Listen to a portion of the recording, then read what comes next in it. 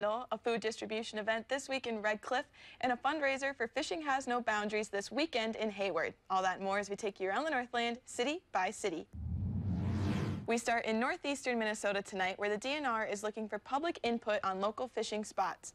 Officials will be reviewing management plans for Clearwater Lake, Little River, South Branch Whitefish River, also known as Hornby Junction Creek, and the Talmadge River. Some plans include addressing trout stocking and the introduction of trout. Others are to create an initial management plan before considering trout introduction.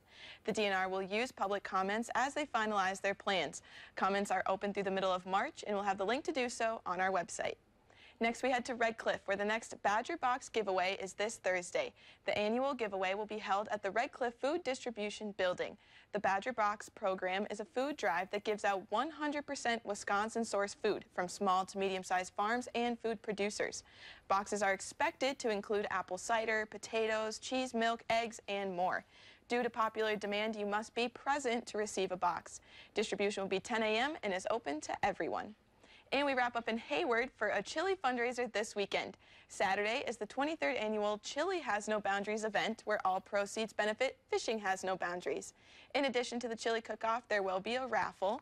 The fun starts at 11 a.m. and judging will be held at 12.30 with prizes going to first, second, and third place. The event is being held at the dock. Fishing Has No Boundaries is a yearly event that allows people with disabilities a chance to go fishing. And as always, if there's something going on in your neighborhood that you think we should know about, send us an email and it might be featured as we take you around the Northland, city by city.